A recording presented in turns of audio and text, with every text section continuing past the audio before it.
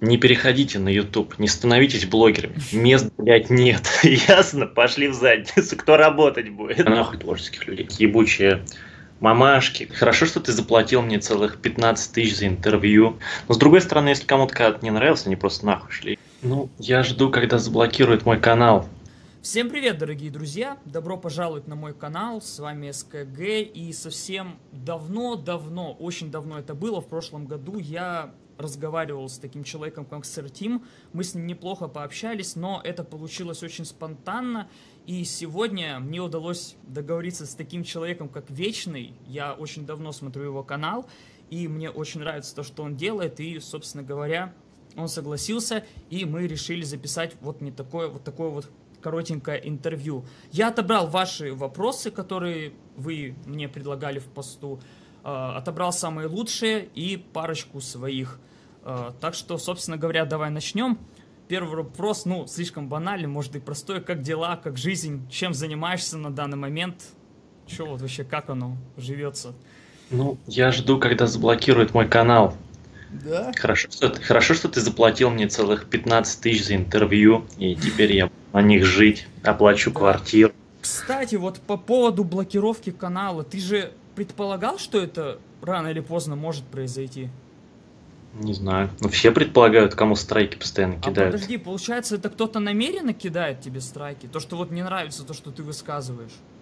Ну, там на другое кидают, как правило. Там какие-нибудь ебучие мамашки, которым не нравится, что я говорю, не стоит рожать детей, если не можете там их содержать. А, то есть это прям вот Потом. на такие ролики провокационные, да? Ну, типа того, да. М, блин, ну слушай, а вот допустим, ну я так понимаю, он у тебя еще ведь это живой, то есть живет канал, вроде как еще держится, но, но я сейчас не могу транслировать. Я не могу видео загружать сейчас. А, то есть уже это даже заблокировали? Угу. И то есть оно не пропадет, эта блокировка? Он же, пропадет через две недели. Потом 5 ноября страйк снимут, возможно, один. Mm-hmm. Ну, и тогда все нормально. Но до 5 ноября времени много, мне успеют э, накидать третий. Mm-hmm. А третий это уже окончательная как бы блокировка, все, до свидания. Ага. И что ты в таком случае собираешься делать? Второй канал, который у тебя вечный 2.0? Ну, я новый заведу какой-нибудь. Вечный 2.0 так и останется. Смешным каналом, где я стираю носки.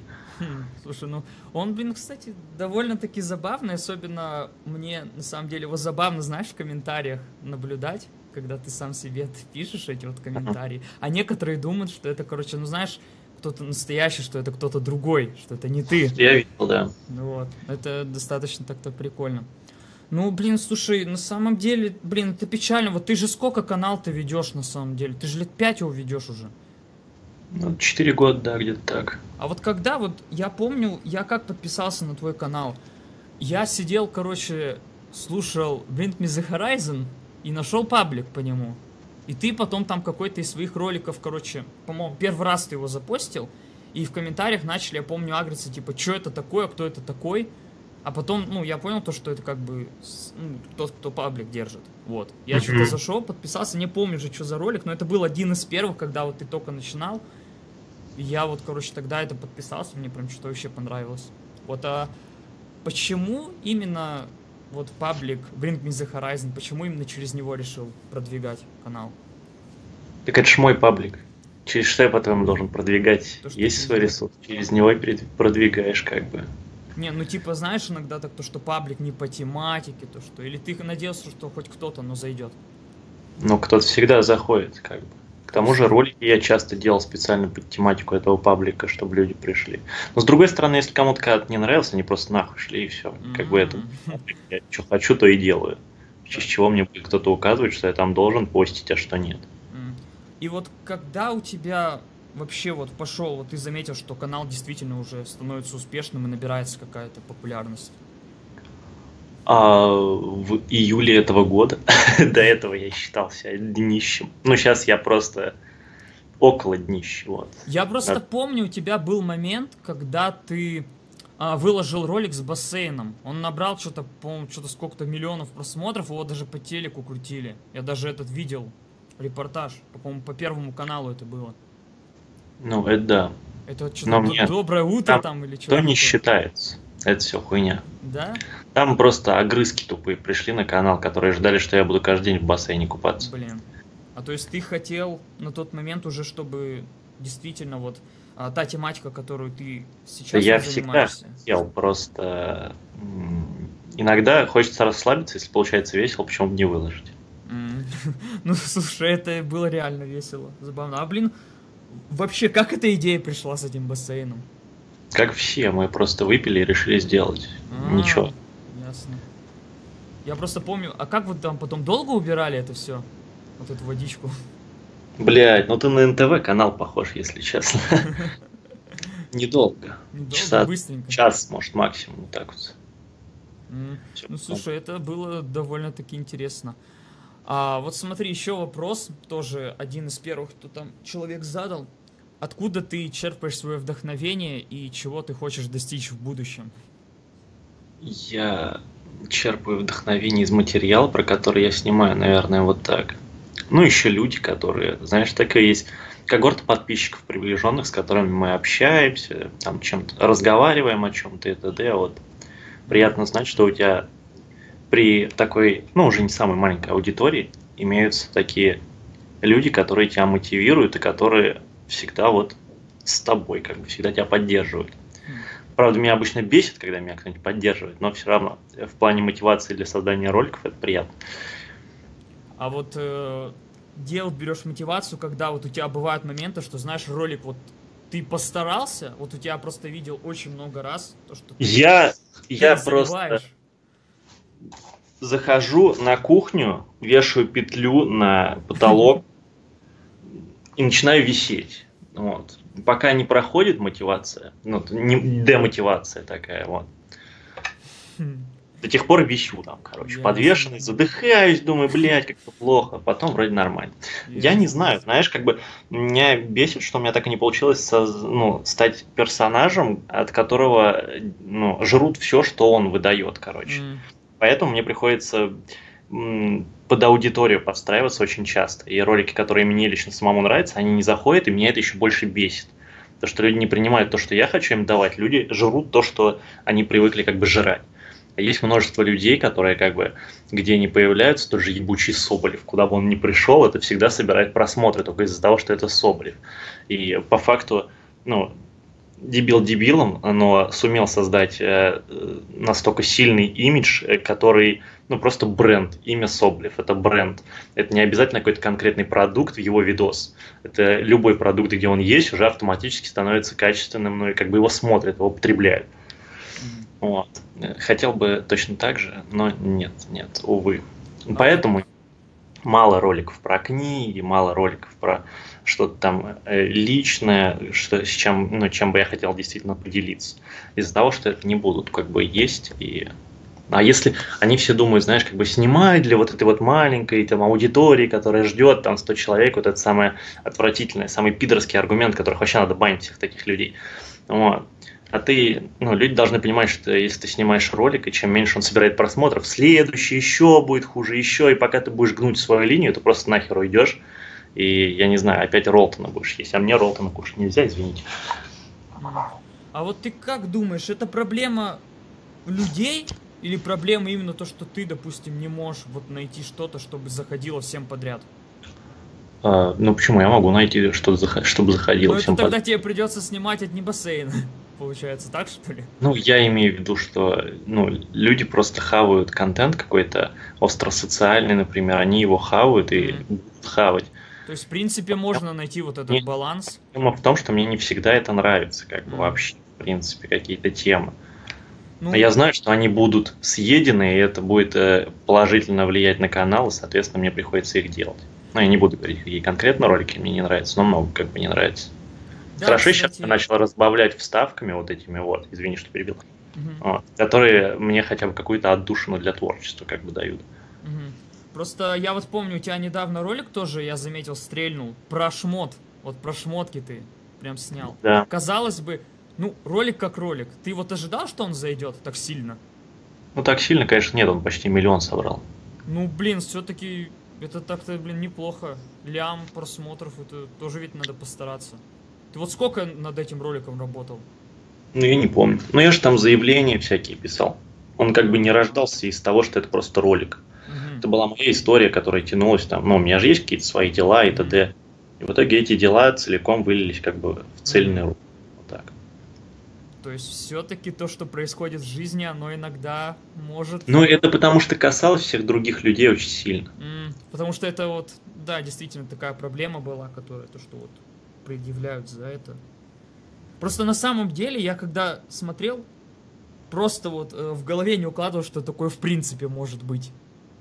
То, что такое происходит. Но, к сожалению, такое действительно происходит, и это, конечно, очень печально. А, тогда вот следующий вопрос тоже задавали. Занимаешься ли ты благотворительностью? Нет, ты что? Мне нельзя, мама не разрешает. Что значит благотворительность? Ну, я озвучиваю книгу сейчас для инвалидов и делаю это бесплатно. Это благотворительность? Наверное, да. Ну, да. Ну или там, не знаю, поддерживаешь ли ты каких-нибудь там, не знаю, тоже так же творческих людей, еще кого-нибудь. А Нахуй творческих людей.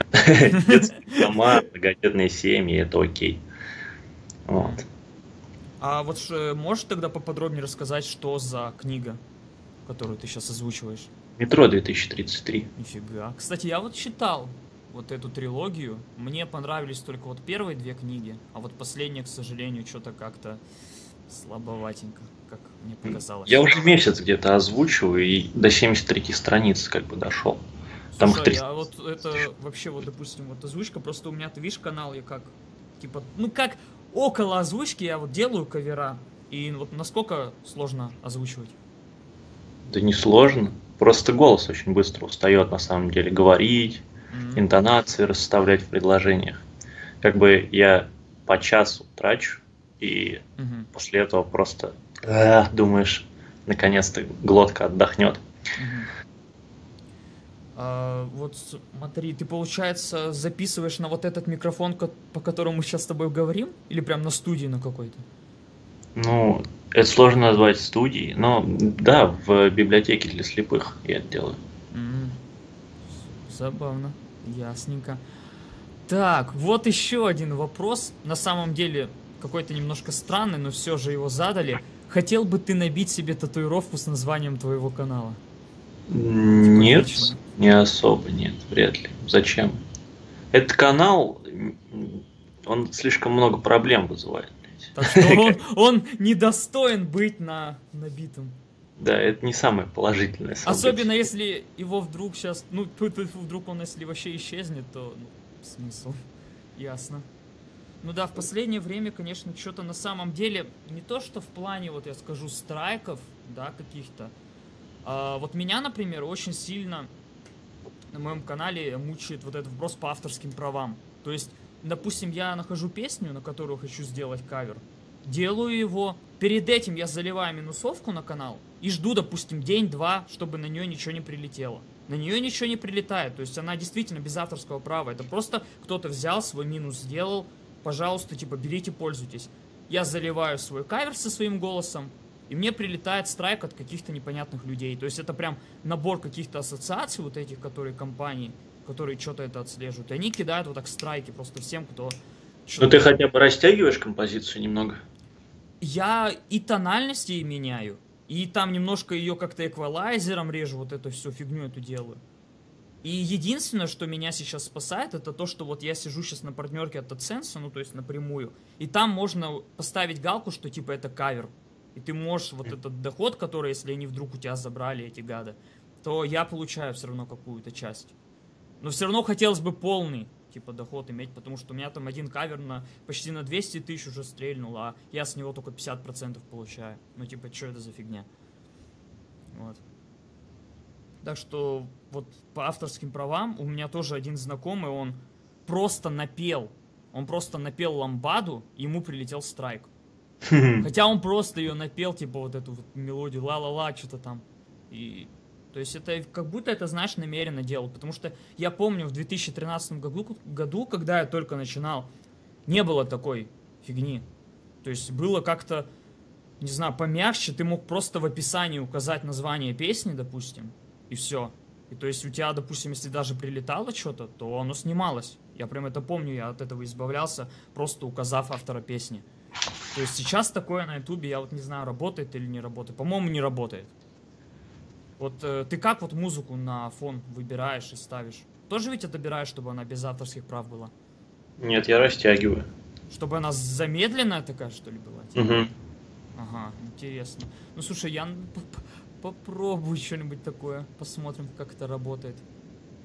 Так, вот еще, но это вопрос уже от меня. Я недавно, кстати, недавно совсем узнал об этом. У меня появилось э, в ленте, в новостной, твой музыкальный проект, где ты на этой, на пианино играешь, типа неоклассики, что-то такое. Можешь о нем подробно рассказать и вообще, насколько серьезно ты им занимаешься?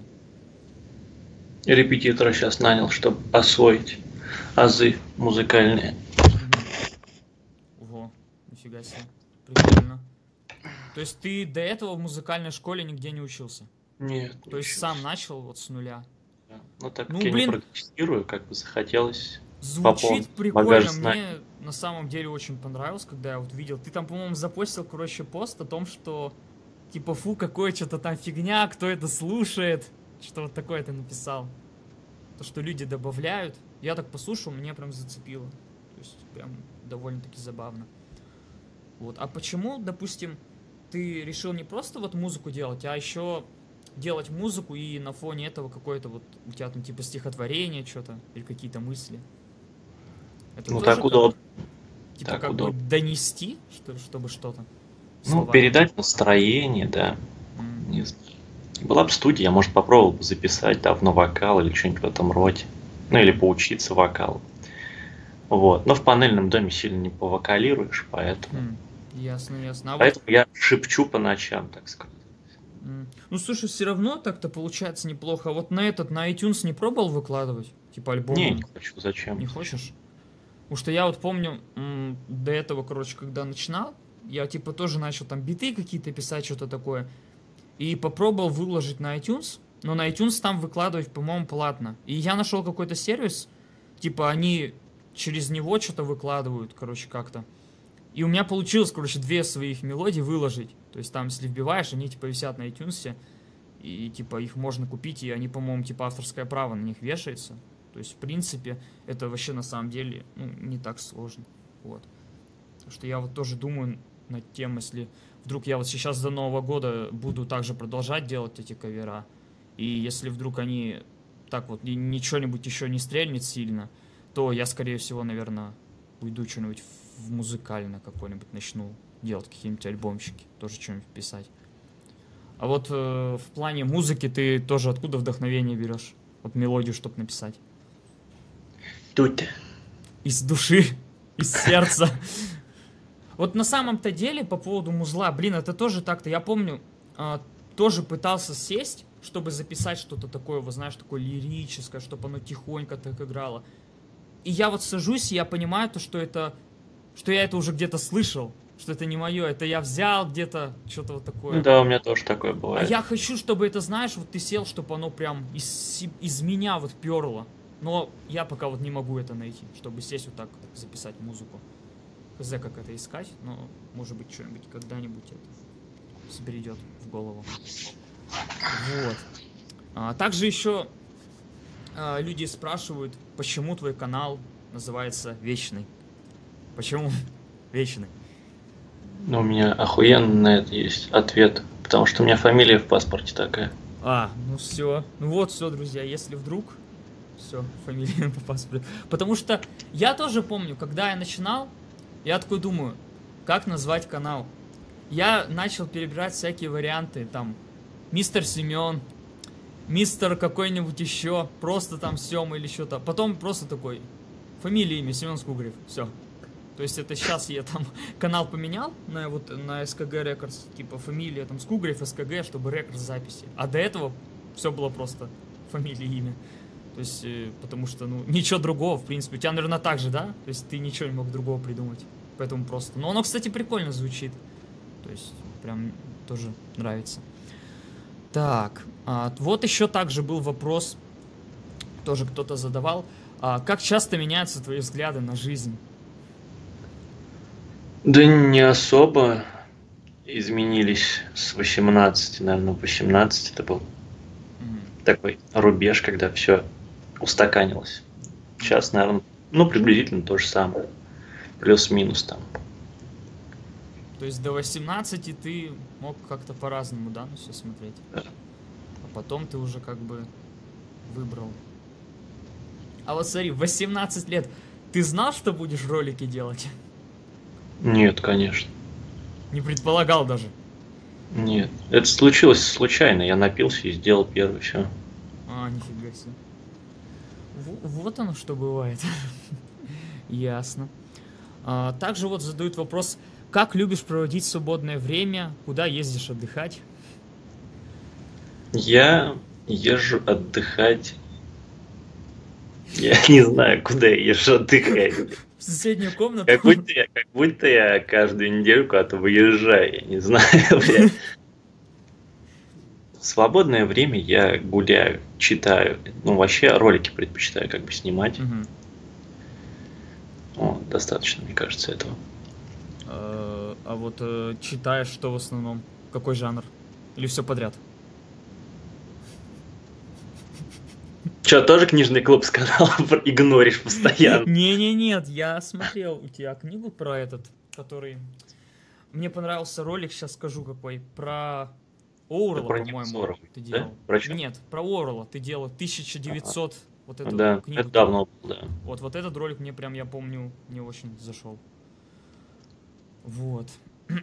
так. Ну, а, никакой фантастики, в общем, стараюсь не читать. Так, То есть все-таки ближе как бы.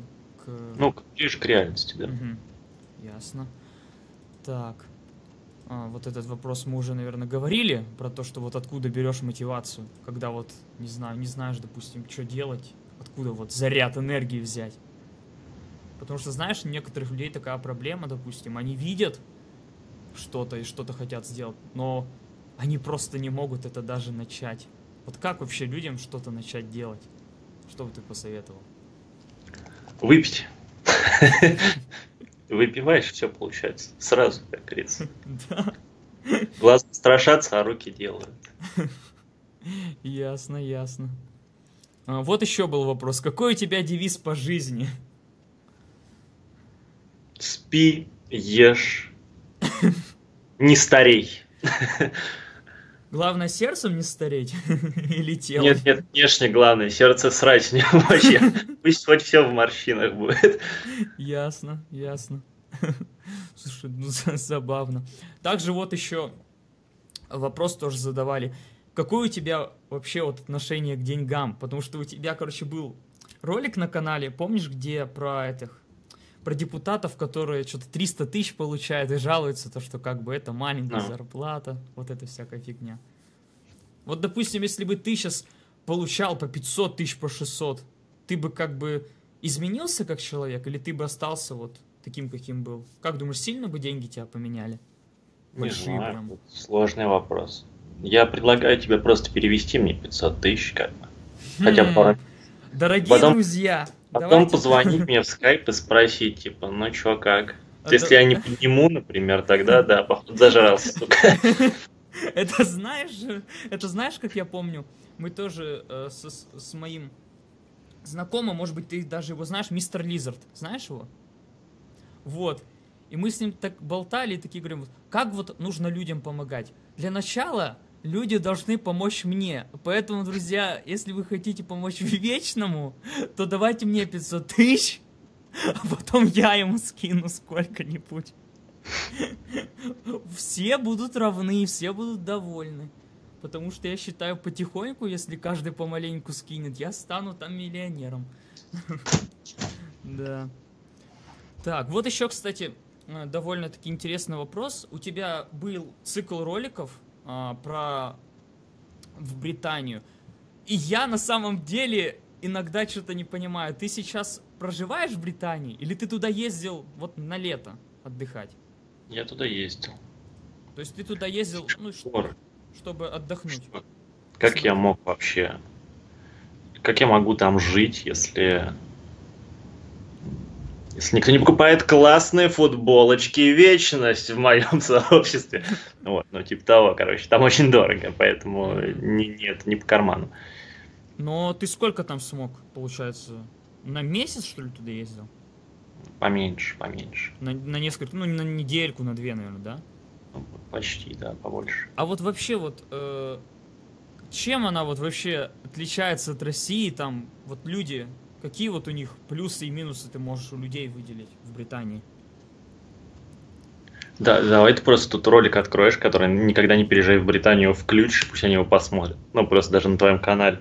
Итак, еще немного о людях. Когда мы сидели в детском парке, к нам подошел какой-то мужик, они с Дэном разговаривались, мужик рассказывать начал о том, где он будет выступать. И я думал, что это друг Дэна, потому что они так мило и очень хорошо общались.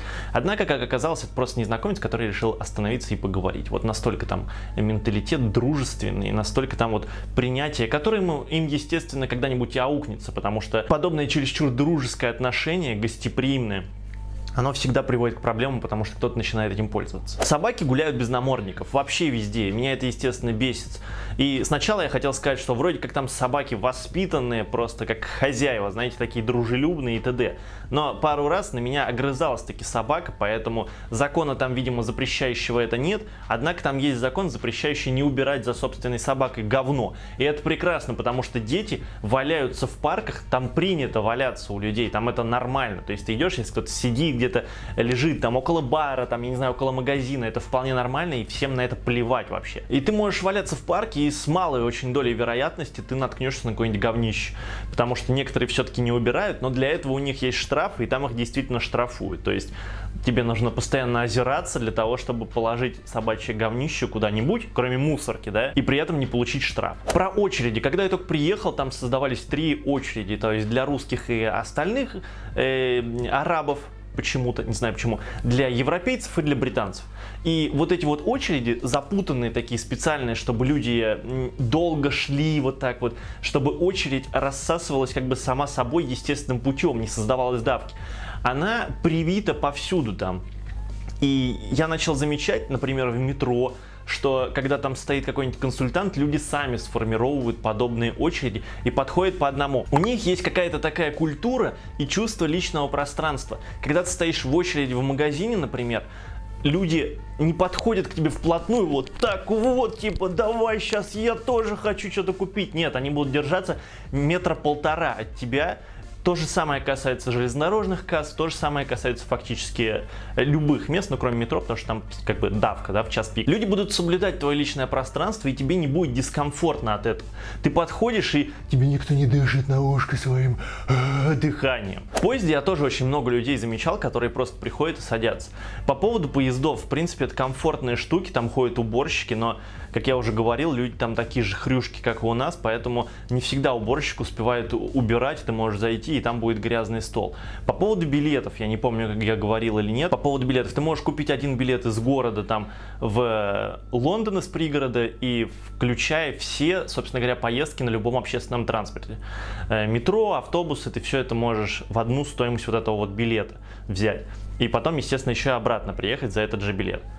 Не знаю, практикуется у нас такое или нет, но, по-моему, это очень удобно для людей, которые работают в Лондоне, а живут в пригороде. Там постоянно не работают турникеты в метро. Я не знаю, с чем это связано, но там вот суешь билетик, он его облизывает, вытаскивает вверх, и турникет не открывается. То есть там очень глюченная система. Она вроде как новая, она выглядит, знаете, солидно, как будто это реальная какая-то технология, но она не обеспечивает должного уровня обслуживания. То есть ты можешь стоять, тупить, тупить, тупить, у тебя будет билетик выскакивать, дверцы не будут открываться, и тебе придется искать какого-то охранника для того, чтобы куда-то пройти. Покажешь ему свой билет, собственно говоря, он тебя, естественно, пропустит.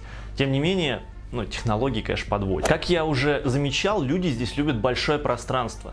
Поэтому они не приемлют вот это вот маленькие квартирки такие, вот скворечники, как у нас говорится.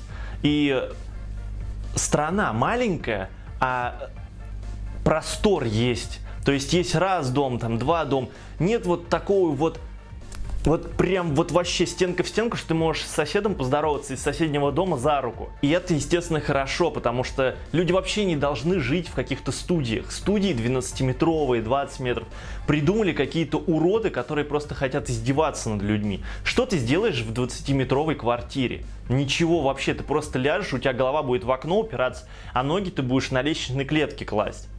А там ведь дует, потому что отопление не предусмотрели. В отличие от местных людей, власть очень заботится о различном озеленении. Поэтому все парки зеленые, повсюду какие-то вот площадки озеленения, э, огромные заповедники на территории Англии находятся, которые под постоянным контролем. Никакая река ни разу не воняла каким-то подозрительным дерьмом, как, какую бы я ни нюхал реку. Она может, блядь, выглядеть грязной и мутной, как, например, вот эта Темза, да? Она не пахнет. Я не знаю, что они для этого делают, но тем не менее, подойдите к любой речке в России. Я уверен, вот этот вот самый запах, детства, блядь, с детства, вот как ты нюхал вот эту вот непонятную тухлую рыбу или что-то в этом роде. Вот, там такого вообще почему-то нет. И все заповедники, они, естественно, постоянно убираются, за ними постоянно следят. Если какое-то редкое дерево есть, его, естественно, огораживают. Браво, в общем, по поводу вот этого вот забота о природе со стороны государства на высшем уровне. То есть Greenpeace не ассоциируется с чем-то, а, ты из Greenpeace, а Здравствуйте, сэр, вы из Greenpeace? Очень приятно познакомиться. Я такой же деловой человек из правительства. Вот, на таком уровне это воспринимается. Чтобы вы понимали всю соль проблемы медицины в Британии, допустим, у тебя что-то заболело, и тебе нужно сходить к врачу. И единственный врач, к которому ты можешь попасть, это терапевт. И от терапевта будет зависеть, попадешь ты к дальнейшему какому-то узконаправленному специалисту или нет. Из-за этого там постоянно такая фигня происходит, что люди занимаются самолечением 24 на 7, потому что от врача нормально не добиться выписки на дальнейшее, так сказать, обследование. Из-за этого запускаются болезни, и из-за этого очень часто элементарное запускается во что-то страшное. Это не касается скорой помощи. Если у тебя экстренный случай, то ты за тобой приедут, тебя будут лечить, все будет прекрасно, тебя будут осматривать нужные врачи. Ну, например, если у тебя тот же хронический тензилит, то хрен ты попадешь к отоларингологу, пока не миллион раз тебе не придется затрахать просто этого терапевта, чтобы он отправил тебя к специалисту. Они стараются сделать так, что весь удар на себя принимают вот эти вот э, врачи, а узконаправленные, на них намного меньше людей доходит. То есть все стараются вылечиться вот в такой ступени первоначальной. Идеально вообще вылечиться через магазин, потому что там всегда в магазине есть все самое необходимое. Но не бойтесь, если у вас действительно будет что-то серьезное, и вы вызовете скорую, то все медикаменты вам дадут, и не будет такой ситуации, когда вам скажут, ну извините, сегодня закончилось, как бывает у нас, здравствуйте, когда я лечил горло, и мне говорили, ну сегодня этого нет, завтра этого нет, типа приходи, и все равно все нормально. Бесполезная бесплатная медицина называется. Но британцы как-то к этому привыкли, они считают это чем-то нормальным. Если они надумают менять эту систему, я уверен, что у них это получится. В Британии можно пить за рулем. Одну пинту ты можешь выпивать в баре каком-то и уезжать куда тебе угодно. Если тебя остановят, проверят, одна пинта это нормально. Перед тем, как вы поставите лайк на это видео, я бы хотел сказать вам вот что. А, самое обидное, ну, во-первых, я подытожу. Интернет и медицина – это факторы, которые для меня лично приоритетны, и я бы не стал рассматривать в качестве ПМЖ. С другой стороны, ты видишь менталитет людей, а в стране самое главное это люди. И медицина, интернет это исправимые вещи. А, например, э, как был в Бежецке такой люд, так он там навсегда и останется. Ничего вообще не меняется. Культура, воспитание, дружелюбие, э, умение терпимости проявлять к инакомыслию. Ничего этого в России нет, а там есть. И это прекрасно. И если вы хотите ехать куда-то за людьми, э, за тем, чтобы жить и чувствовать себя человеком, наслаждаться общением, наслаждаться уютной, теплой обстановкой, э, в Британии это ваш выбор. Сильное было впечатление первое? Или ты такой, ну, Британия как Британия, ну, отдохну, поживу? Или прям... Не, нет, сильное было, сильное было очень. Прям все кардинально меняется. Прям как будто выпил, но еще не пил. Вот ты прикинь, в этот же вечер я еще и выпил. Вообще двойное, непонятное, что происходит. Я помню то, что ты там в ролике гулял, не мог найти э, дом, тебе говорят, кто-то за тобой гнался. По-моему, у тебя на втором канале есть. Да, да, недавно выкладывал. Да. А, ясно.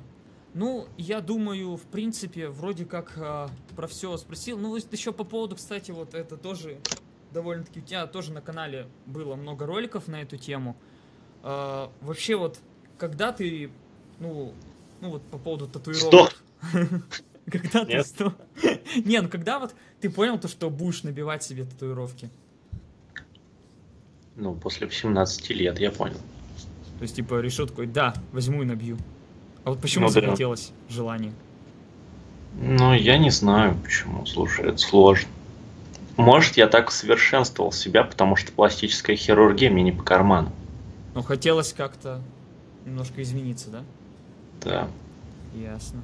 Просто вот э, у меня вот тоже, ну, некоторые знакомые есть, которые там, допустим, им, ну, вот только-только 18 там или 17 исполнилось. А вот у одного знакомого уже так же, как у тебя, вот тоже на горле татуировка. там. 21 или пос- после 20 я, короче, татуировку первую сделал. Вот что я тебе скажу. есть, Я думал раньше. Я раньше. Не-не-не.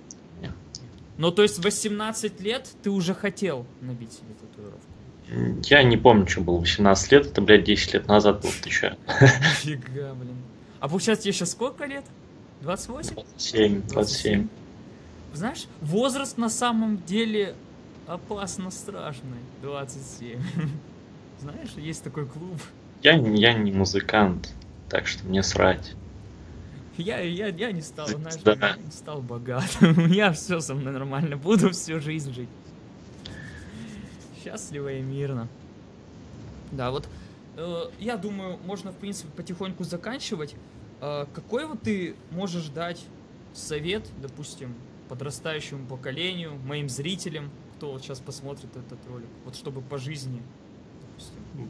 Я знаю один очень качественный совет, который я понял на протяжении четырех последних лет. Я этот совет понимал и для того, чтобы передавать его молодым поколениям. Не переходите на YouTube, не становитесь блогерами. Мест, блядь, нет. Ясно? Пошли в задницу. Кто работать будет? Вот, я думаю, вот. Ну, но это сейчас, да? То есть вот эти последние четыре года. Потому что я-то начал лет пять назад. Я давно уже. Не, на самом деле, вот, э, допустим, сейчас действительно на самом деле очень сложно реально вот прийти, начать что-то делать. Потому что просто тупо уже непонятно, что вообще снимать на самом-то деле. Ну да. Хотя на самом деле можно делать какие-то, знаешь, самые простые банальные вещи, вот э, типа там, я не знаю, реакций каких-нибудь или каких-то челленджей, но допустим, допустим, даже если бы ты это делал, тебе бы не было стыдно за это? Или было бы стыдно? реакции?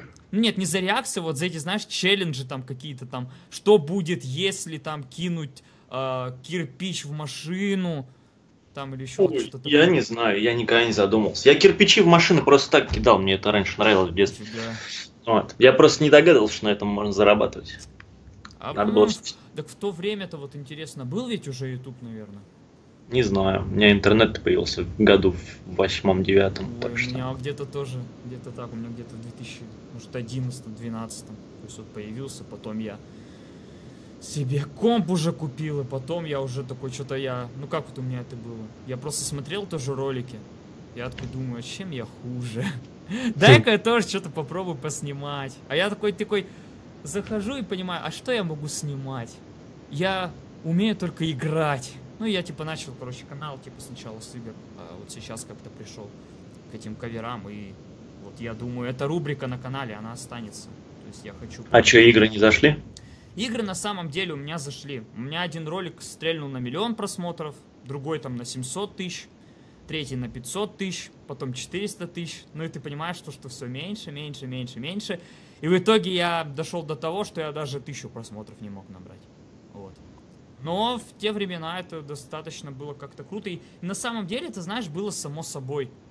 То есть я просто садил, садился, записывал, такой записывал ролик, выкладывал, он собирал 500 тысяч. И я даже не чувствовал, что я даже как-то прилагаю какие-то усилия, не знаю, вкладываю душу, что ли. А вот сейчас, допустим, если я прям сижу, записываю это все, свожу, обрабатываю, делаю перевод, то ну, просто таких просмотров, я не знаю, можно ли в этой тематике достичь миллион просмотров, потому что, ну, фиг его знает, как это вообще сделать. Вот. А, ты вот когда садишься записывать ролик, ты вот, допустим, у тебя есть такое чувство, что сейчас сделаю его на отвали, и он должен зайти, а если вот постараюсь, он не зайдет? И часто ли вот это ожидание, оно оправдывается или... Ну да, когда я думаю, что я сделал что-то охуенное, нихуя не заходит. А если делаешь на Да, я бывал отвали, вообще просто на такой коленке, что-то там снимал, два раза буркнул и все. И заходит. Да. А вот не кажется ли тебе, что это, это и есть секрет успеха? Минимум стараний, максимум результата. Не знаю, не знаю. Я видел качественный канал с миллионами просмотров. То есть все равно стараться Где, надо. где люди стараются, да. Мгм.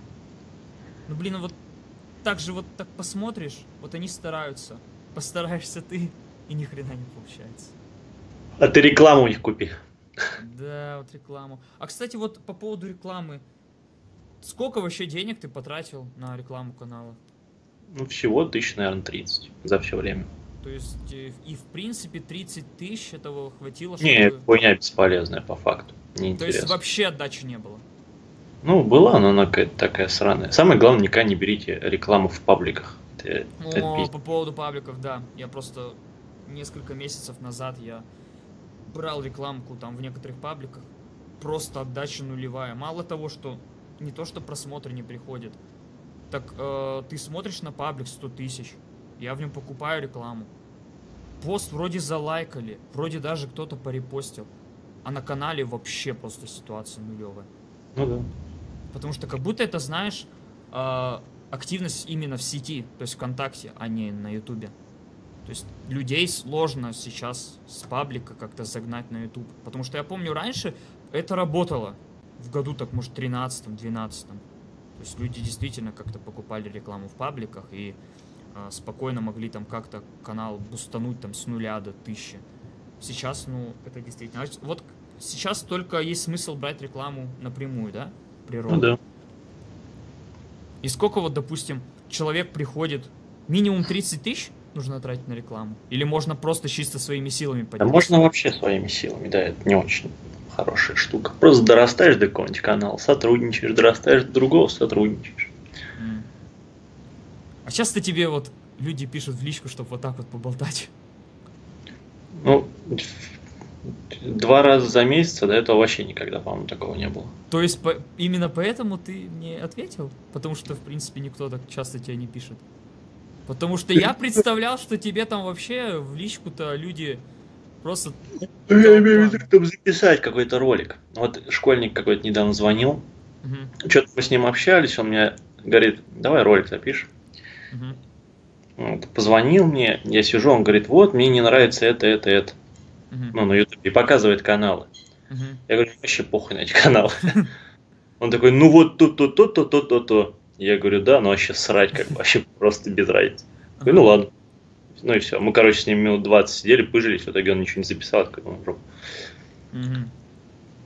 Ну, Просто он думал, видимо, что он найдет поддержки какой-то. А я такой, ну мне срать вообще на эти каналы. Как... Там какие-то инквизиторы, Махоун, что такое. Ну, О, да, да, и знать про этих. Это. Короче, это люди, которые с Лизардом тоже. Он же тебе, он же давно, я помню, я вот на Лизарда, по-моему, как раз, кстати, с твоей рекламы подписался. может быть.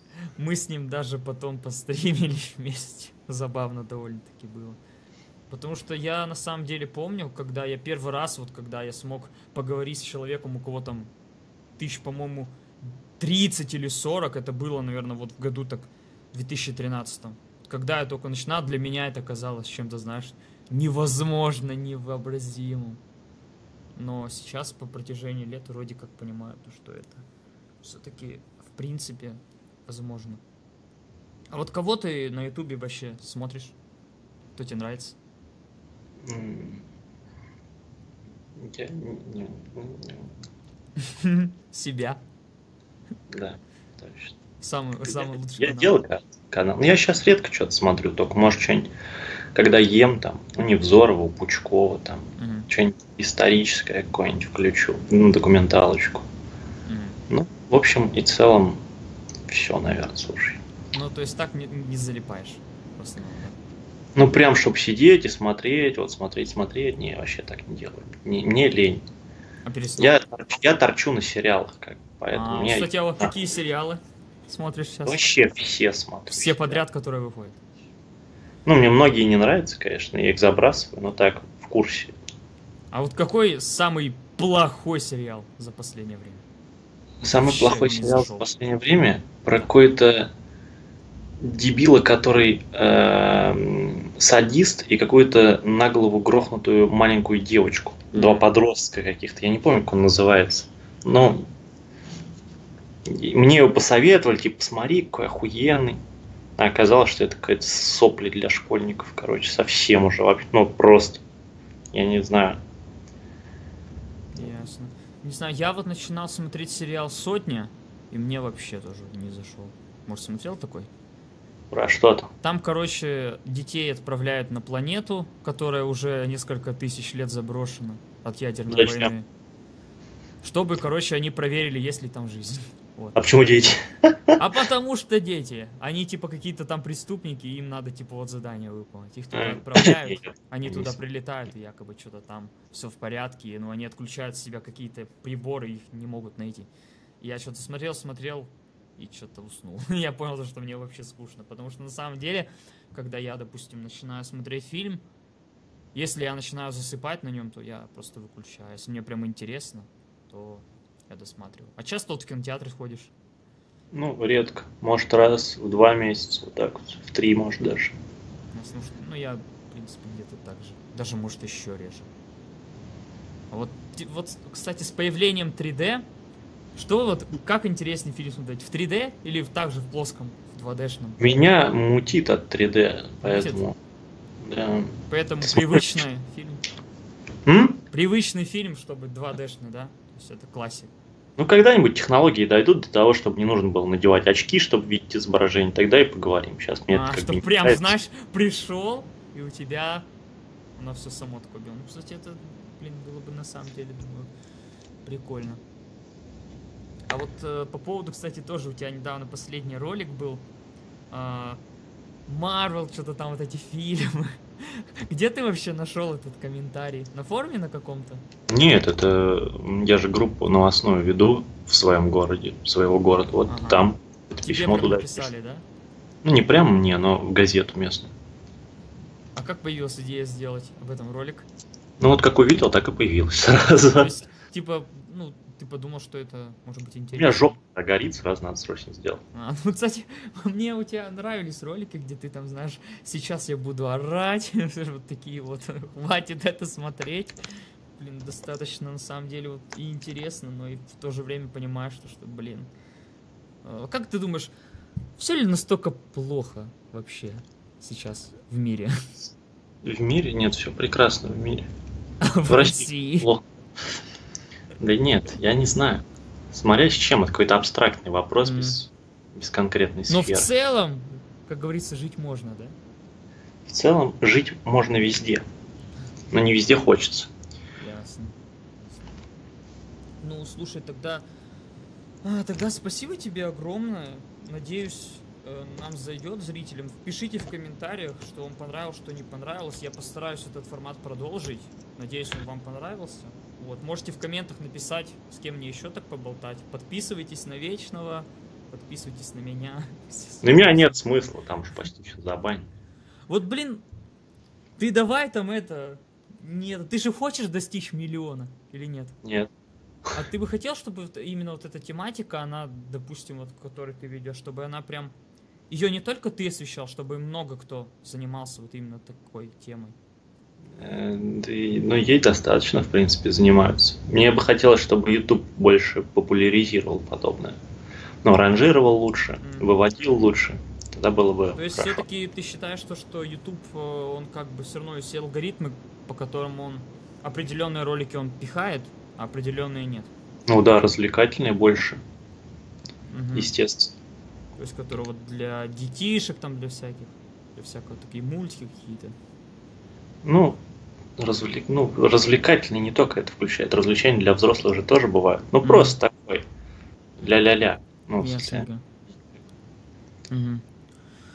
Ну что ж, тогда думаю, вот на этом можно закончить. Еще раз всем спасибо за просмотр. Подписывайтесь. В комментах можете писать, с кем мне еще можно также душевненько пообщаться. Тебе спасибо огромное. Было очень нет. приятно. Всем пока. давай, пока.